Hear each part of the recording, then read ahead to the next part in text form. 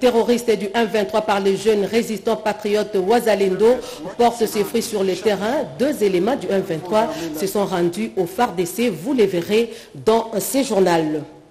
Octobre Rose, une campagne annuelle de communication destinée à sensibiliser les femmes au dépistage du cancer du sein. Dans ce journal magazine, focus justement sur les cancers du sein et du col utérin. Plus ils sont détectés tôt, plus les chances de guérison sont élevées. Le journal du dimanche prévoit également la rétrospective de la semaine, mais l'actualité passe en premier.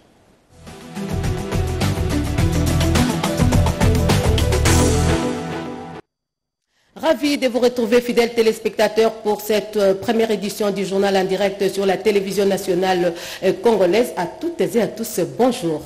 Démarrons ce journal par la rentrée judiciaire exercice 2023-2024 à la Cour constitutionnelle. Le président de la République, Félix-Antoine Tshisekedi Chilombo, magistrat euh, suprême, a pris part à cette audience solennelle et publique. Dans son discours, Dieudonné Kamouleta, président de la Cour constitutionnelle, s'est penché sur les incidences des innovations de la loi du 9 mars portant organisation des élections, nous dit Guylain Kabalundi. Protocole millimétré ce samedi 20 octobre 2023 au Palais du Peuple à l'occasion de la cérémonie des rentrées judiciaires de la Cour constitutionnelle, exercice 2023-2024. Arrivée du chef de l'État magistrat suprême, honneur militaire, accueil par un comité restreint et photo souvenir avec les membres de la Haute Cour dans la salle de congrès en présence du président de la République Félix-Antoine Tshisekedi, les neuf membres de la Cour constitutionnelle ont fait leur rentrée judiciaire comme prévu à l'article 100 alinéa 2 du règlement intérieur de cette institution. Lors de l'audience solennelle et foraine, trois discours ont été prononcés. D'abord, celui du bâtonnier de l'Ordre national des avocats. Son allocution axée sur l'organisation et le fonctionnement de la Cour constitutionnelle a été une sorte de plaidoyer pour l'instauration au sein de la Haute Cour d'un corps de conseillers référendaires comme l'exigent les lois du pays. Pour sa part, le procureur général, dans sa mercuriale, s'est étendu sur les causes d'irrécevabilité du contentieux électoral, un thème à caractère pédagogique choisi par les juges constitutionnels dans un contexte électoral au pays. Juge du contentieux des élections présidentielles et législatives, la Cour constitutionnelle qui fait sa rentrée ce jour s'attend à un travail harassant son président, dans son discours, a mis un focus sur les innovations apportées dans la nouvelle loi électorale, une façon d'attirer l'attention des différents acteurs au processus électoral. La Cour constitutionnelle vient d'examiner les contentieux des candidatures pour les élections législatives et se prépare à aborder le contentieux psyléché des candidatures pour l'élection présidentielle.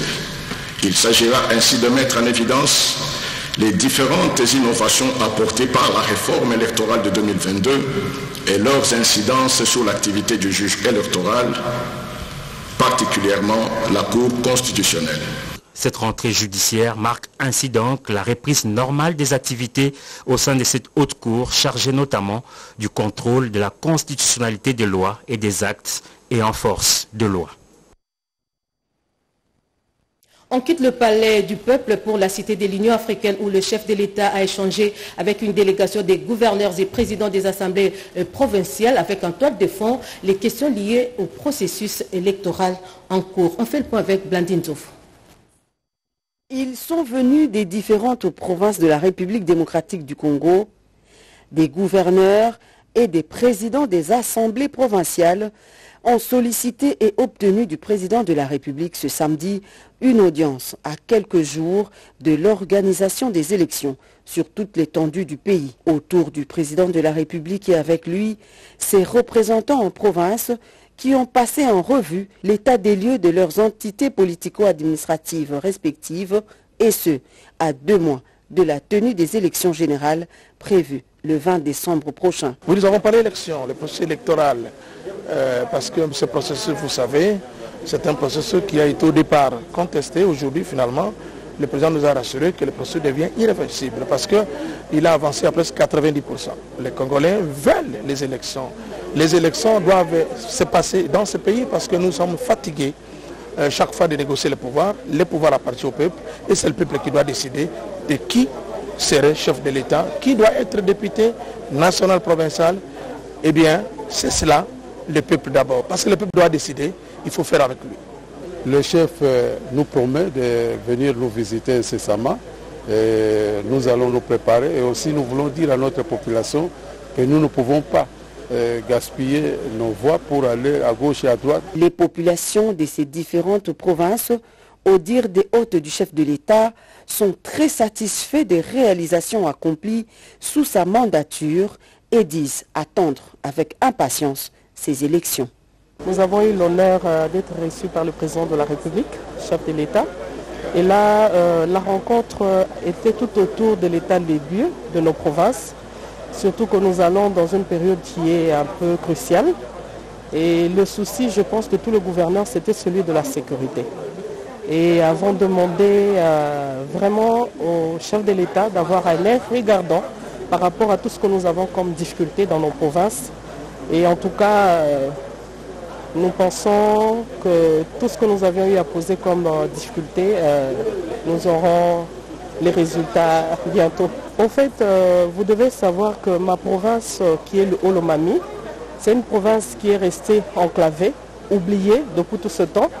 Et aujourd'hui, avec tout ce que nous avons commencé comme projet, surtout les projets des 145 territoires, où vous retrouvez dans nos territoires, aujourd'hui nous avons des écoles. Je venais de parler avec euh, le président de la République, le chef de l'État.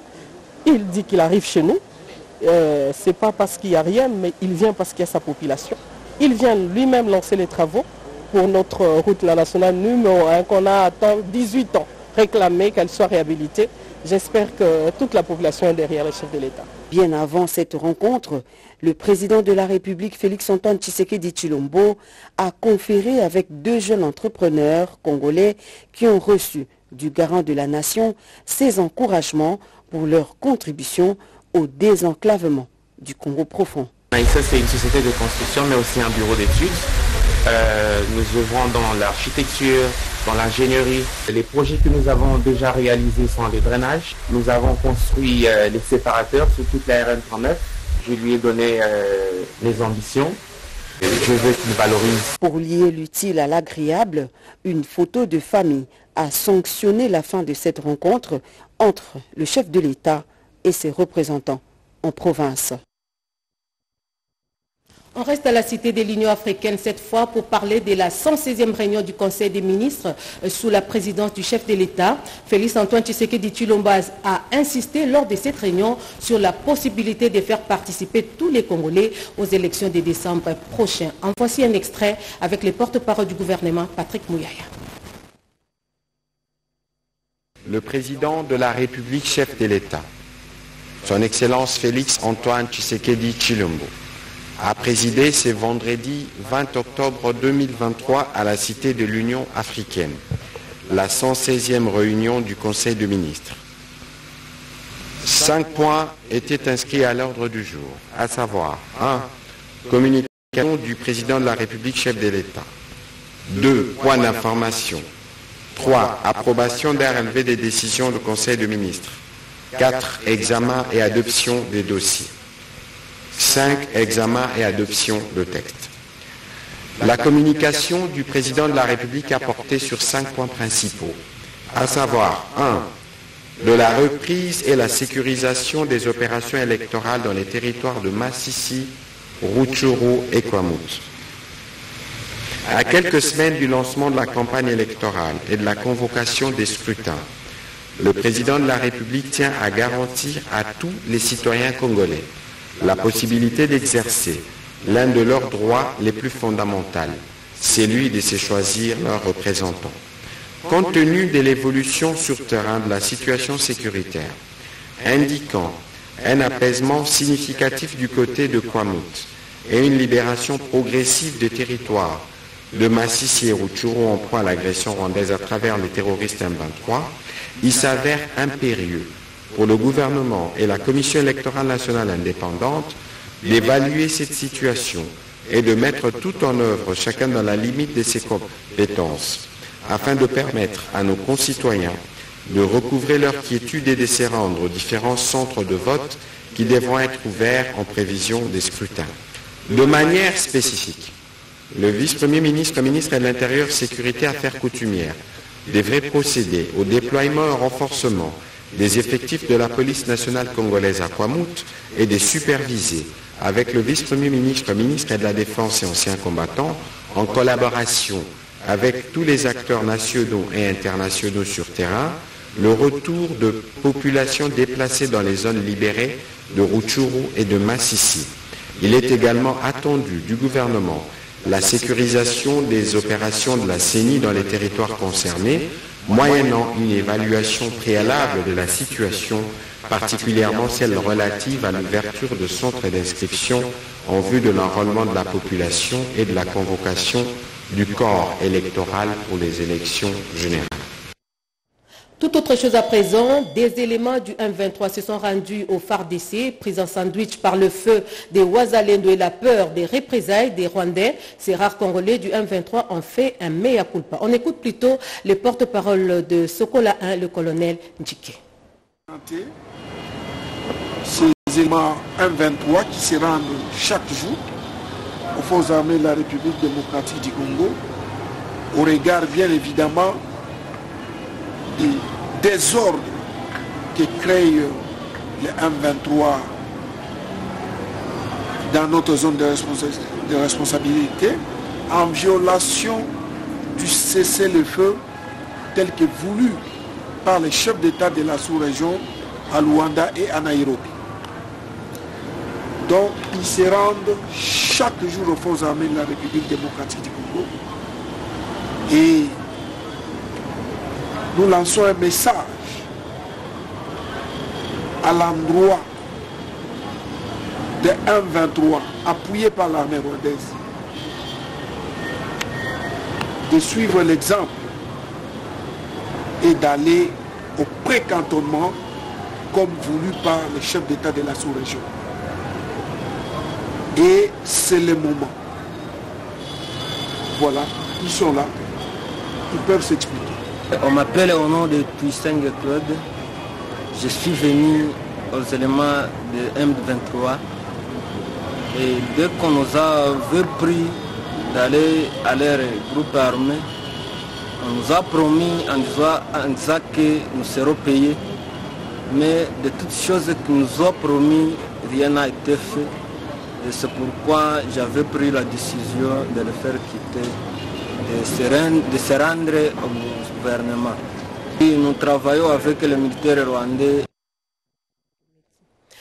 Signature d'un partenariat entre la fondation Denis Nyakeru Tshisekedi et la firme pharmaceutique Roche. Le partenariat prévoit entre autres la fourniture en équipement des laboratoires du centre de médecine mixte et d'anémie SS connu sous le nom du centre Mabanga, nouvellement construit et réhabilité.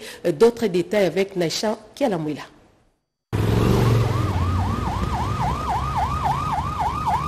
C'est l'aboutissement de six mois d'un travail méticuleux entre la fondation Denise Nyakeru Tshisekedi et les laboratoires Roche. Présent en République démocratique du Congo depuis 2021, ce laboratoire suisse centenaire dans le domaine du diagnostic et du traitement spécialisé, comme le cancer et l'hémophilie sans être exhaustif, accompagnera le centre Mabanga, dont la reconstruction a cristallisé la volonté de la première dame de lutter contre la drépanocytose. L'acte santé de l'action de la distinguée première dame Denise Nyakiru Tshisekedi trouve en cette entreprise pharmaceutique et en la Suisse, représentée par son ambassadeur Jasper Sarot à cette signature, des partenaires engagés et expérimentés. Cette signature s'inscrit totalement dans la couverture santé universelle qui est une vision du président de la République. Le besoin du traitement efficace à la portée de tous caractérise cette approche de la santé. La sécurité transfusionnelle, un pan important du combat contre l'anémie SS, est une des spécialités. Laboratoire Roche. L'accès à du soin de qualité. Euh, comment peut-on faire pour mettre autour de la table l'ensemble des acteurs? Le gouvernement, les, les partenaires techniques, les bailleurs de fonds, les associations de donneurs de sang, pour ensemble trouver une solution pérenne.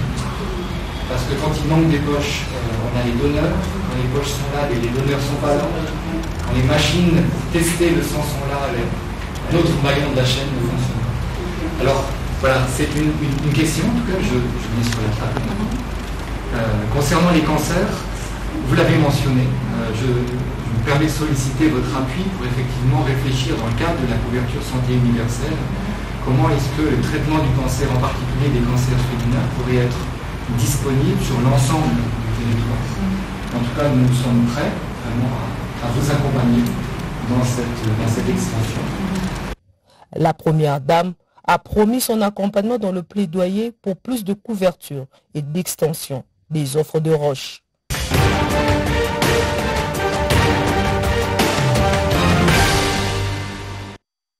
Six ambassadeurs nouvellement accrédités en RDC ont présenté au cours de la semaine leur lettre de créance au président de la République. Le chef de l'État magistrat suprême a aussi pris part à la rentrée judiciaire de la Cour de cassation. En début de semaine, le président de la République, commandant euh, suprême des forces armées de la RDC, a reçu les officiers généraux supérieurs et les sous-officiers des FARDC. La semaine du président, texte et commentaires, Pierre Kibambessoumé. Rentrée judiciaire à la Cour de cassation, c'était le lundi 16 octobre. La cérémonie a été présidée par le magistrat suprême, le chef de l'État Félix Antoine Tshisekedi Chulombo. Organisée dans la salle de congrès du Palais du Peuple, l'audience solennelle et publique a consacré la fin de vacances judiciaires de cette haute cour de l'ordre judiciaire en RDC. La rentrée judiciaire 2023-2024 a marqué la reprise normale des activités dans les juridictions avec des procédures ordinaires. Les officiers généraux supérieurs et les sous-officiers ont été reçus le mercredi 18 octobre au chapiteau de la Cité de l'Union africaine par le président de la République commandant suprême des forces armées de la RDC, Félix Antoine Tshisekedi Chulombo. Dans son mot des circonstances, le chef de l'État a rappelé la devise des forces armées « n'est jamais trahir le Congo ». Nous formons un seul corps, celui des défenseurs des institutions du pays et de notre peuple. Nous avons cette mission à remplir jusqu'au sacrifice suprême, a indiqué le commandant suprême des FRDC et de la police nationale. Le vice-premier ministre, ministre de la Défense nationale, Jean-Pierre Bemba, était présent à cette rencontre. Au Palais de la Nation, le président de la République, Félix Antoine Tshisekedi Chulombo, a reçu les lettres de créance des six ambassadeurs nouvellement accrédités en République démocratique du Congo. Mohamed Boram Ali est le nouvel ambassadeur de Djibouti à RDC. Il assume les mêmes charges en Côte d'Ivoire. Il a été notamment premier conseiller chef de mission adjoint auprès de l'Union européenne, chargé d'affaires à l'ambassade de Djibouti au Benelux et à la mission permanente à l'Union européenne.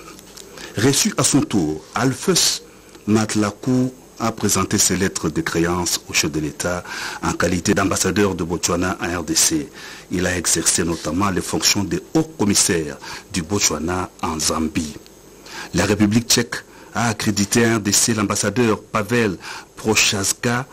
Il a été aussi ambassadeur au Zimbabwe, au Malawi et en Zambie. Madame l'ambassadeur Marie-Charlotte Tang représente la République de Philippines à RDC, résidente au Kenya. Elle assume également les fonctions d'ambassadeur dans ce pays, au Rwanda, en République du Congo et en République fédérale de Somalie. Le Sri Lanka sera représenté à RDC par l'ambassadeur Yelu Pillai. Il a une résidence à Nairobi au Kenya. Madame Inoli Teani Pereza ambassadeur de la République d'Australie RDC, a clôturé la série d'audiences auprès du président de la République, diplomate de carrière, et les résidente au Zimbabwe. Et en cinq minutes, Nadine Foutouka nous rappelle les faits saillants de l'actualité de cette semaine qui s'achève. Images et commentaires. Les élections législatives et présidentielles auront bel et bien lieu. La CENI a publié la liste des candidats à la présidentielle de 2023. 24 candidats ont déposé leur dossier. Aucun dossier n'a été rejeté. C'est dans ce cadre que Denis Kadima a lancé la campagne de sensibilisation pour les élections générales du 20 décembre prochain. À l'Assemblée nationale, le député Jacques Mamba a présenté une proposition de loi relative aux biens et aux droits insaisissables. Cette initiative a été rejetée par la plénière. La 56e session du Conseil de ministres de l'espace OADA a été lancée par le Premier ministre Samalou Kondé. Il a invité les États membres à préserver les acquis de cette organisation. À la justice, tous les acteurs s'accordent sur les antivaleurs qui gangrènent l'appareil judiciaire congolais. C'est l'essentiel du message du premier président de la Cour d'appel à tous les premiers présidents des cours d'appel de 26 provinces.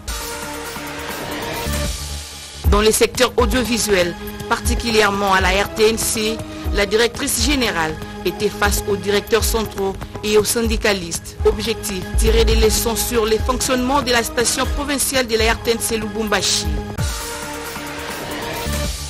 Le CEC a célébré ses 22 ans d'existence. À l'heure du bilan, le directeur général de cette institution constate agréablement que cet établissement public de l'État n'a pas contracté des dettes vis-à-vis des banques commerciales. Et puis le modèle ivoirien en matière de sécurité sociale a inspiré la RDC. Une délégation de la Caisse nationale de sécurité sociale des agents publics de l'État était en Côte d'Ivoire pour se ressourcer sur cette expérience. Face aux incendies qui se déclarent à gauche et à droite, il y a des précautions à prendre. Il s'agit de doter les services publics des extincteurs. L'autonomisation de la femme en RDC est d'une grande contribution pour le développement du pays. Une campagne a été lancée à Kinshasa afin d'outiller ces dernières à l'entrepreneuriat. Dans la province de l'Équateur, le bilan du naufrage intervenu la semaine dernière s'alourdit. 47 corps ont été repêchés. Le message a été donné au cours d'une séance d'information des journalistes. Ouvrons la page nécrologique avec un homme resté célèbre. Il s'agit de la disparition de Zachary Badiengela alias Nemwanansemi. Il a tiré sa révérence au centre Nganda à l'âge de 77 ans après 4 mois d'hospitalisation.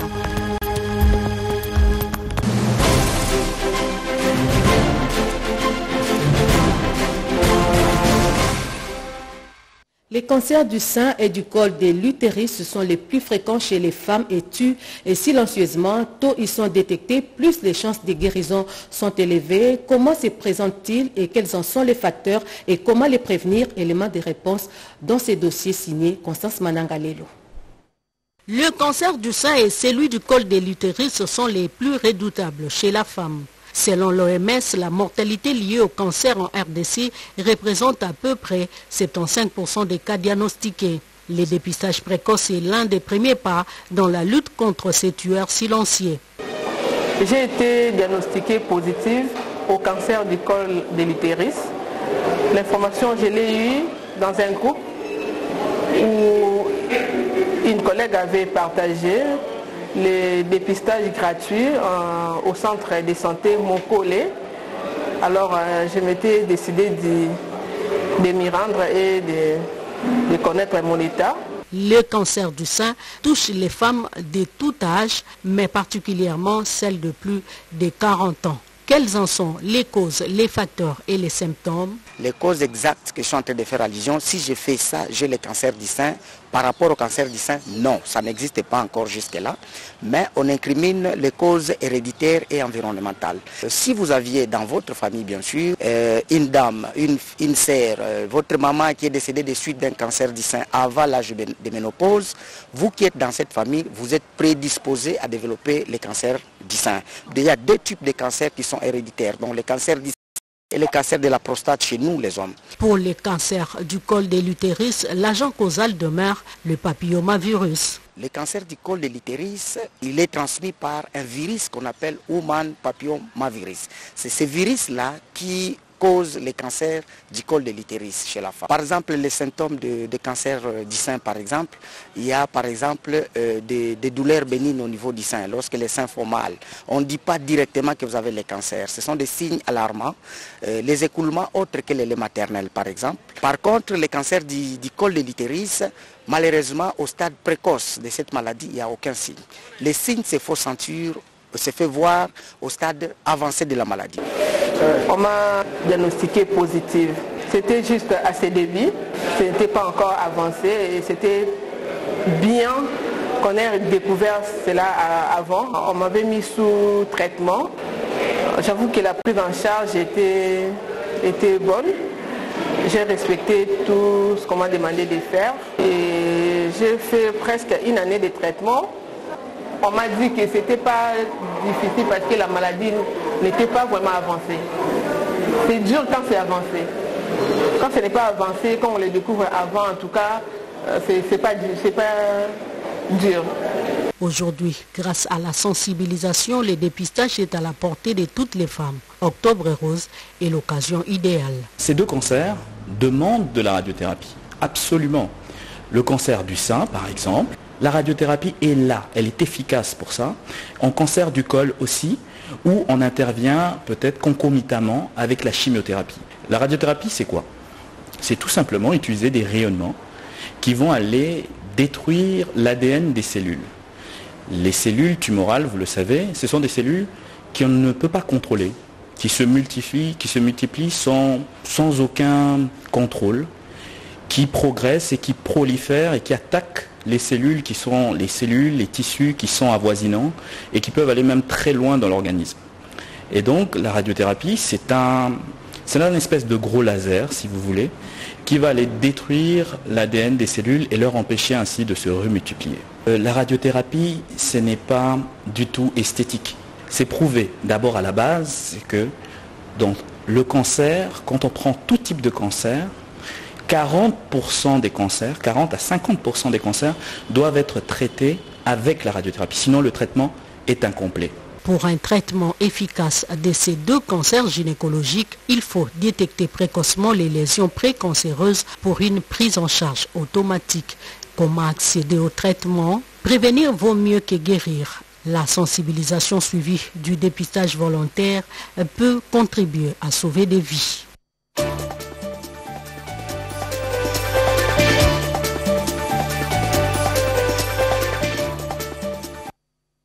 Vous avez manqué de parcourir certains journaux au cours de cette semaine qui s'achève. Je vous prie de vous rattraper à travers cette rétrospective de la revue de presse dans une sélection de Jean-Pierre Ndolo.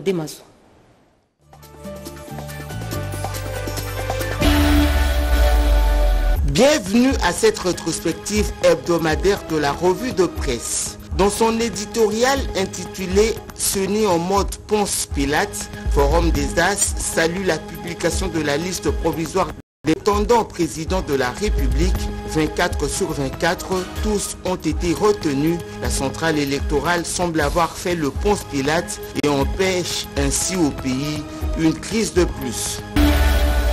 Forum des As revient à la charge avec le démenti de la SADEC qui nie être venu en RDC pour le report des élections ou pour une transition. Des informations qui circulent sur la toile.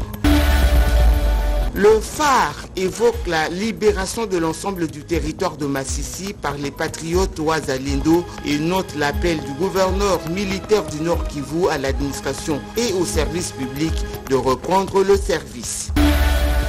L'EAC contre l'offensive des Ouazalindo, le constat est de la référence plus. Cette offensive, affirme l'organisation sous-régionale, contraste avec la résolution pacifique du conflit, une position complaisante vis-à-vis des envahisseurs, retorque la population du Nord Kivu.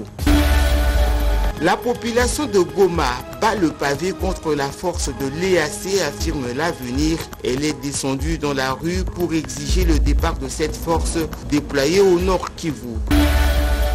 2708 violations des droits de l'homme et atteintes à ses droits entre mars et août à l'est de la RDC, note actualité.cd qui rapporte le rapport de l'ONU un démenti de l'Ouganda. Ceci concerne son implication dans le déplacement des bornes frontières, article de 7 sur 7.cd. Pour l'ambassade ougandaise à Kinshasa, cette campagne vise à polluer ses relations avec ses voisins. Plus de peur que de mal, il n'y aura pas de perturbation dans la distribution de carburant en République démocratique du Congo. Confirmation du gouvernement relayée par la prospérité, le gouvernement qui a promis d'harmoniser les vues avec les pétroliers. On boucle cette rétrospective hebdomadaire de la revue de presse par cette nouvelle de la mort de Nemwanda Ntsemi livrée par Instant News. Le leader de la secte Bundu Diamayala est mort à l'âge de 77 ans. Politique, la fédération des l'UDPS Lukunga dispose d'un nouveau siège. La remise de cet ouvrage acquis par Antoinette Samba a eu lieu hier euh, dans la commune de Lingwala pour le secrétaire général Augustin Kabouya. Cette acquisition prouve à suffisance que l'UDPS se prépare pour affronter les élections de décembre euh, prochain. Plus de précisions avec Alain Bikaï. L'ambiance était électrique au croisement des avenirs Kabinda et Willery dans la commune de Lingwala ce samedi 21 octobre. Les cadres et combattants de l'IDPS se sont mobilisés pour manifester leur joie pour l'acquisition de ces patrimoines immobiliers devant abriter les nouveaux sièges de l'UDPS Fédération de la Lukunga. Ces sièges est l'œuvre d'Antoinette Samba Kalambay, cadre de l'IDPS, acquis sur fonds propres. Un acte qui s'inscrit dans la vision du secrétaire général Augustin Kabouya de doter chaque fédération d'un siège et des bâtiments modernes. Dans son mot, Antoinette Samba, surnommé Charles de Lukunga par les combattants, a tenu à remercier les chefs de l'État et les partis pour la confiance placée à sa modeste personne du secteur minier. À l'approche des élections générales de ce 20 décembre, la dame de fer de l'IDPS a voulu offrir un cadre de travail à sa fédération pour impulser une nouvelle dynamique au profit de la réélection de Félix Antoine Tshisekedi Chilombo. C'est dans cette optique que le chef du parti présidentiel s'est déplacé lui-même pour réceptionner et inaugurer ce nouveau siège. Après la visite des différents bureaux équipés, Augustin Kabouya a salué les gestes de ces hauts cadres du parti. Un geste qui doit être dupliqué par d'autres membres qui ont reçu les mandats du parti, a-t-il indiqué. Pour Augustin Kabouya, toutes ces actions prouvent à suffisance que l'UDPS se prépare pour remporter sans bavure les élections de décembre prochain sur un score sans appel à l'image d'une rencontre de football. UDPS encore, cette fois avec la présidente de la cellule de Massina sans fil qui poursuit sa tournée de redynamisation des activités du parti dans le district de la Tchangou. Encore une fois, Alain Bikaï. Elle est sur tous les fronts dans le district de la Tchangou pour mobiliser la base du parti présidentiel pour la compétition électorale de décembre prochain. La présidente de la cellule UDPS Massina Sanfide, Karine Tsumpi Moukeba, est allée à la reconquête des quartiers Bouma, Kikimi et Bibois dans la commune de Lantélé. Tour à tour, celle qu'on appelle affectueusement par les combattants de l'UDPS Lito à Tchangou a eu à mettre les troupes en ordre de bataille pour affronter n'importe quel candidat car leur champion Félix Antoine Tshisekedi Tilombo a un bilan à présenter au peuple pendant la campagne électorale. Avec l'appui, Karine Tsoupi a présenté les réalisations du chef de l'État pendant son premier quinquennat. Le projet de développement à la base de 145 territoires, la gratuité de l'enseignement de base et des maternités en sont une illustration parfaite. Pour elle, la femme congolaise est appelée à soutenir les champions de la masculinité positive aux élections générales du 20 décembre pour l'émergence d'un leadership féminin en République démocratique du Dans son rôle de femme politique, la présidente cellulaire de l'UDPS Massina Sanfil a également alerté la gente féminine sur l'importance de soutenir la femme au prochain scrutin avant de brousser les profits d'un candidat capable de défendre leurs intérêts. Il était aussi question pour Karine Tsumpi Moukeba, Lito Yachangou de parler de l'engagement de la première dame de la République, Denise Nyakeo Tshisekedi, pour l'éducation des jeunes congolais avec son projet Excellencia et pour les soins des enfants anémiques SS.